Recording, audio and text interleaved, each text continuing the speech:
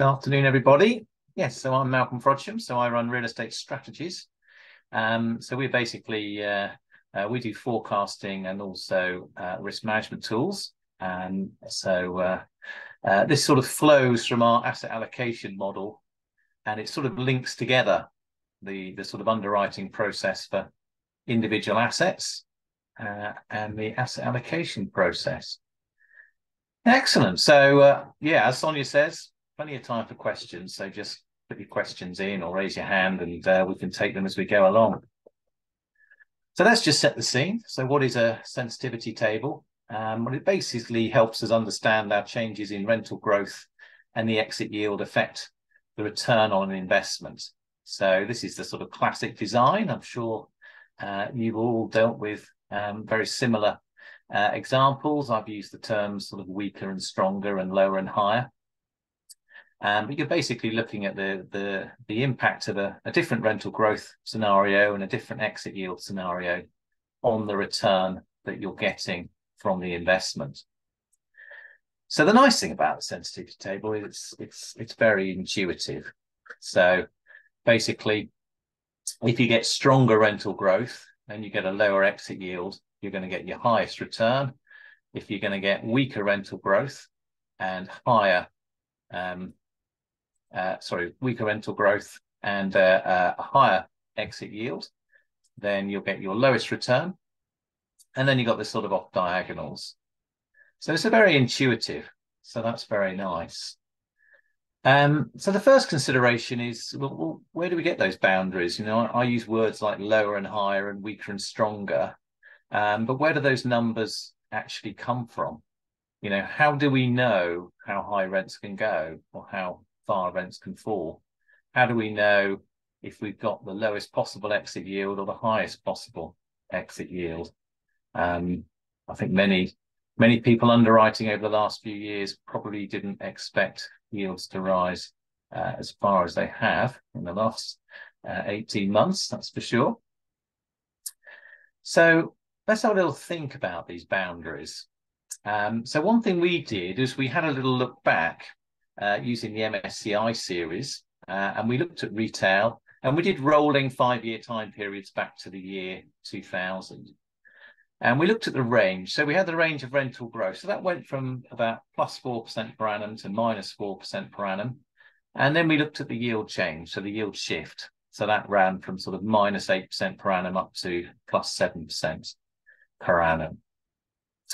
So that's taking uh, what I would sort of call uh, an empirical approach. Now, we did ask a question. We did ask a poll on this. So we asked on LinkedIn, how would you determine your range? And we did get a bit of a spread, including we had none of the above, but unfortunately we didn't get any comments telling us uh, uh, where where the uh, uh where the, uh, the where they chose their boundaries from. However, empirical was top, which is fantastic. So we got the, the the, the majority there. There were two other choices. Um, so one was taking a, a forward-looking approach, and that was looking at the IPF consensus forecast. So that's very interesting because because obviously one of the things about using an empirical approach is that's the past. So surely you should be looking forward-looking. So I do like the idea of having a forward-looking component to how you calibrate your sensitivity table. And now a narrow range, more interesting. So we did have some respondents going for the narrow range. And that's that's often been sort of my issue. I tend to see that you know you get your average forecast for growth of say two percent, and then you've got sort of plus one percent and and and uh, plus three percent, which is a which is a very narrow range. Um, I wouldn't. I would suggest that that doesn't actually cover the full range of potential returns. So that's having a little think about the range that we're going to put into our sensitivity table. But there is another issue with sensitivity tables, and that's that they are symmetrical. So they're basically based around, you know, a, a rectangular shape. Well, what that implies is that the permutations of rental growth and exit yields, basically all of the boxes, are of equal likelihood. So in this case, we've got a three by three matrix So that would imply that each of these boxes has an 11% chance. So 9 times 11 or 11.1% would, would come out at 100%. So let's have a little think about that. I mean, is that correct? Is, is actually all of these outcomes uh, as likely as each other? So going back to our empirical data, what we found is actually some outcomes were more likely than others. So this gives you the counts of where we saw different observations. So here's our minus four to plus four. So it's retail going back to uh, the year 2000 and, and rolling five year periods. And then there's our yield movement minus eight to eight. Now what you can see here is there's actually a line. So the most common are around the sort of eights and sixes. They're sort of in the middle. And then we've got a line through that. And that suggests that there is a relationship between your outcome for rental growth and your outcome for yield movements. Now, we also asked this uh, on LinkedIn. So we uh, we asked people what they thought, and did they think that combinations had equal or likelihood? And uh, the answers were great.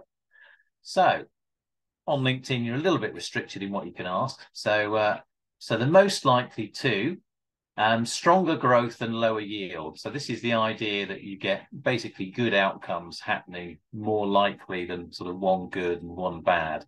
So it's a bit like today, we're seeing yields rise and we're also seeing very weak rental growth.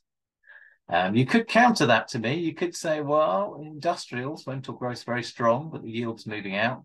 Um, and that would be true. And that's why it's important to recognize that, yes, we're saying things are, are less likely, but we're not saying that, that they're impossible in, in any stretch of the imagination. The other thing, interesting thing, is that a lot of people voted for the fact that the average growth in yield movement is the most likely. And that's also true as well, because actually you are quite weighted towards the middle in terms of the likelihood. So what do I mean by that? Well, we'll, we'll basically try and redraw our sensitivity table to take into account um, the distribution and the correlation. And if we do that, we think it will show more visually how risky the investment actually is. So let's just take a couple of moments just to think about distributions. Um, for those of you uh, uh, still studying, you might be studying statistics and, and, and know all about distributions, but some of you it might be a little bit more hazy in the past. Um, so what we're interested in is how these variables, in this case rental growth and yield change, how they're distributed, but we're also interested in how they're correlated. So what is the distribution? So there's two things basically to a distribution. I'll show it visually. Um, we're basically um, interested in the um, central tendency. So where is the central point? And you've got sort of three measures of the central point. You've got the mean, i.e. the average, you've got the median, so sort of halfway through your distribution, and, and you've also got the most common. Now, if you've got a lovely symmetric distribution, hopefully there you'll recognize the, uh, the Gaussian normal distribution, then actually the mean, median and mode are the same. However, if you've got data which is skewed, so let's take the one where it's skewed to the left, then actually the mode, the median and the mean are different. So if it's skewed to the left, then you get more observations in a sort of peak here, and then you get this skew down to the left. And you get the opposite, of course, if you're skewed down to the right. I think our mean has drifted quite a long way to the right there, uh, not quite that far. So we're interested in, in what these distributions are to calibrate our sensitivity table. So the second point of the, uh, the distribution is the correlation. So are, are the two variables moving independently or are they correlated in some way? So correlation is basically a way of measuring uh, that relationship. And you get both positive correlations. So if it's a positive correlation, then when one variable rises, so here's a positive correlation. So when this variable is high, then your other variable is high. So that gives you a positive correlation. You can also have a, a negative correlation. So there, if you've got a high outcome for, in our case, rental growth, then you'd expect uh, a, a, negative outcome on the yield. So that would be a, a negative correlation. Zero correlation is basically independent. They basically move independently of each other. They're not related uh, in any way, shape, or form. So they're the things that we're interested in. And so we can we can look at those correlations and we can look at those distributions and then we can think about well how should we or how could we um, redraw our sensitivity table to take account of that so what we found was we looked at the correlation and it is indeed negative and the negatives skew there uh, point, well, 0.6, so 0.59. Now, what we then had to do was try and redraw our sensitivity table to take that into account. So now each of these boxes has been scaled, um, which took me quite a long time because it was quite a painful exercise. And it actually represents the percentage chance of any of the outcomes. So you can see that the the middle outcomes, they're the most likely. So if you go back to that poll, that was one of the answers that people thought the middle was the most likely. So I would agree. Now there is a skew on here, and I think you'd agree it's quite hard to see. So this is where we start to say, well, okay, we can redraw our sensitivity table, but actually, is it really showing us the skewness? It's quite a difficult thing uh, to see there. However, it's certainly an improvement. It's showing you that the central tendency here, so that around the zero uh, in both indices, there's a strong central tendency. And then the more extreme outcomes become less likely.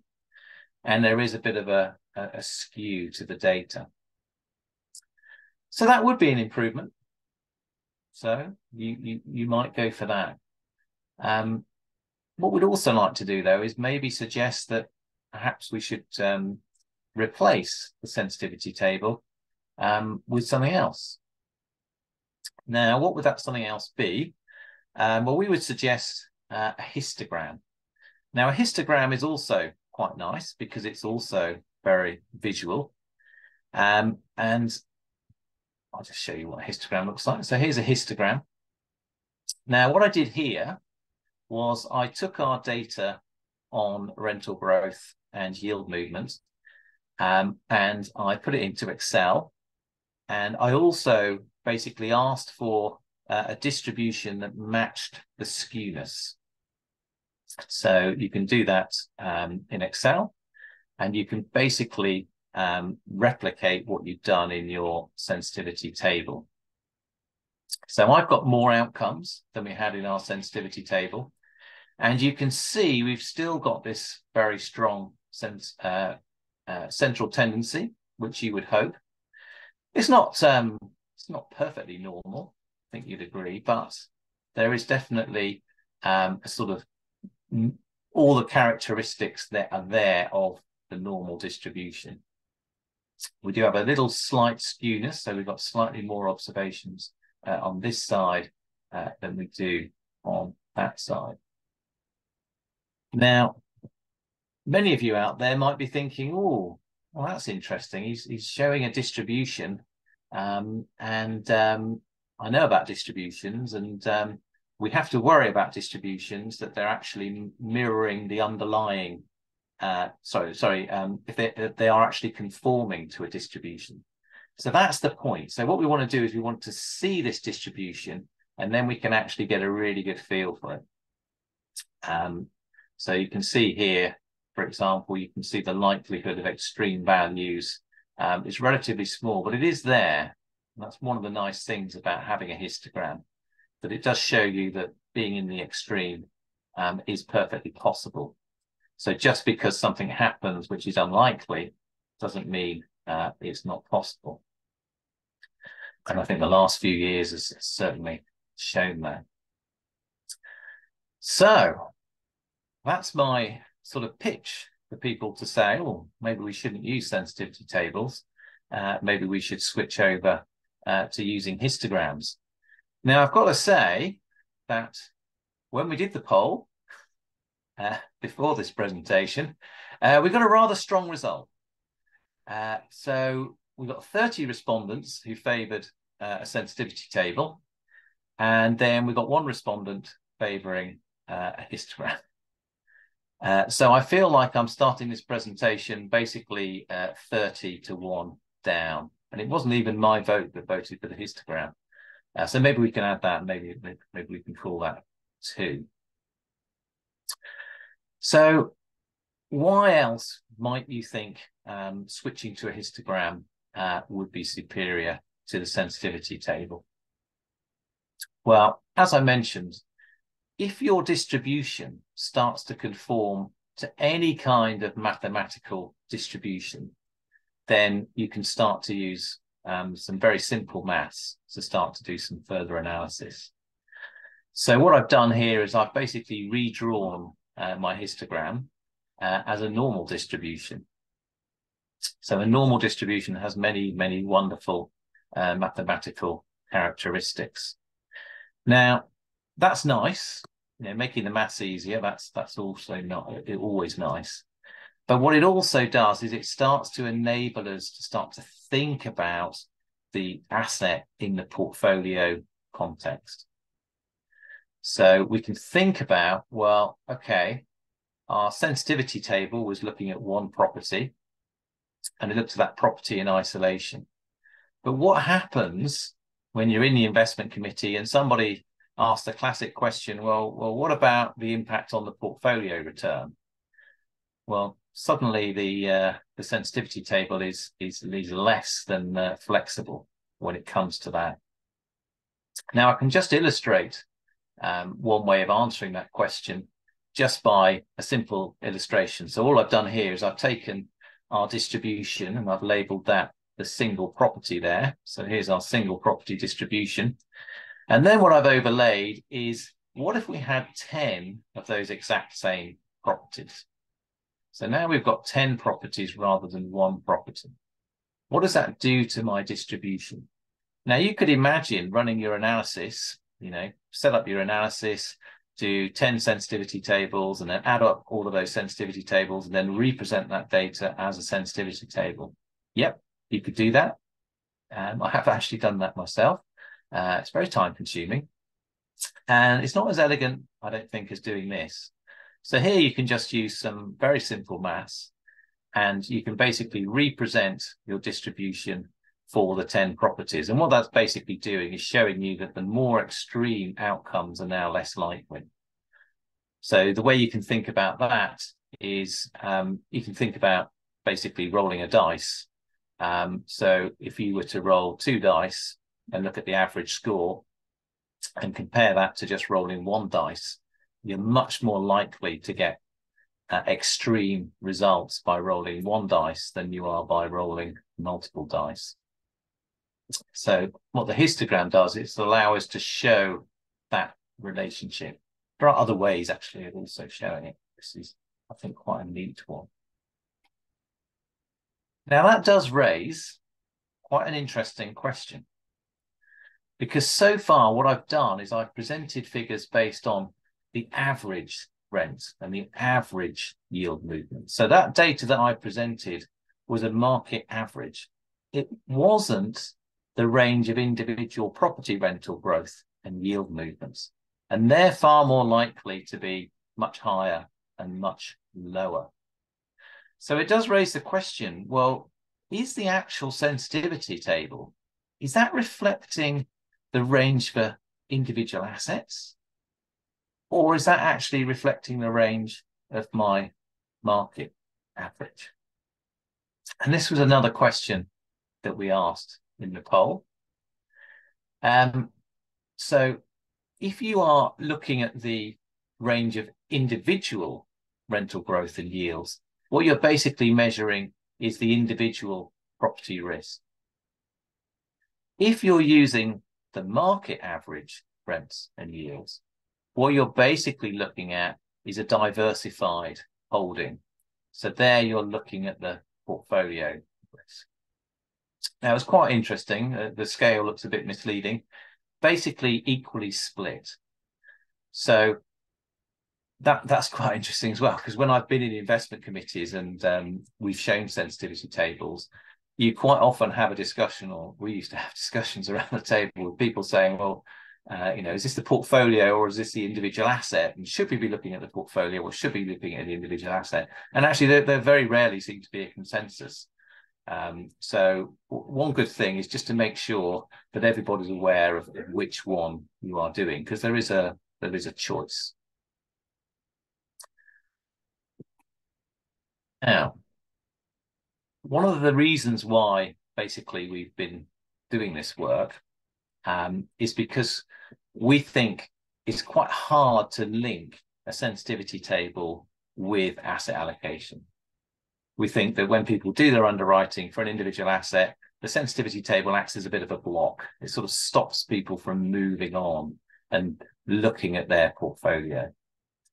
So we think one way to basically unblock that analysis is to switch to uh, the histogram. And that also allows us to do something else. It allows us to look at the correlation, not between rental growth and yields, but between rental growth and yields across groups of properties. So the easiest way to show that is I'll just show a classic correlation table. So here's our rental growth and here's our yield impact. And what you can see is the rental growth, these correlations, we've actually got a negative correlation there because over the last sort of 20 years, because of the, the rise of internet shopping, we've actually seen strong industrial rental growth and, and weak retail rental growth. So that's showing through there as a negative correlation. So these correlations are quite low when it comes to rents. But when it comes to yields, you can see they're very, very high. So here we have some very high correlations. And that's because interest rates are a very high component of real estate yield. So when interest rates go up, actually the, the yield of all the sectors goes up. Similarly, when they go down. I've also shown on the bottom, just for completeness, the correlation there for the total returns. So what we basically um, think you can do is rather than showing a, a sensitivity table for the individual asset, we can basically use that information to show a sensitivity table for the whole portfolio. And what we've been able to do is we've been able to add in not just the distribution of individual property returns, we're also able to add in the number of properties that you've got in the portfolio in each sector, and also those correlations between those sector returns. And that's what RES does when we do our asset allocation modeling. And I'll just show you finally to, to finish off what that actually looks like. So you're basically showing your expected return here. So we've got the return with, sorry, with the property over here, and then without the property there. So this property is expected to add to our expected return it's not going to make a, a huge amount of difference to the risk. However, it is improving the portfolio return per unit of risk. So it's increased there by 2.36 to 2.41. Now, I could have shown this on a histogram, which maybe I should have done, but actually I'll just sneaked something in here just at the end. The other way we can show that is we can show it in terms of probabilities because there is a bit of an issue that you know people in real estate they're not used to talking about distribution, um, which is why I think the, the sensitivity table is so positive. But we can basically represent the data as a probability. So here I've just taken two points. So I've said, what's the chance of being greater than a 6% return at the portfolio level? So that might be the, uh, the portfolio's stretch target and then what's the probability of falling below uh, the 6% return. So what we can see is the probability is increased by having the asset and the probability of falling below, I think that actually should say 5%, not the typo, uh, has fallen to 13% from 14%. So that's another way of actually displaying the results, which I sort of sneaked in there at the end. But this is our idea for, for a redesigned sensitivity table, and, and this can work at the portfolio level.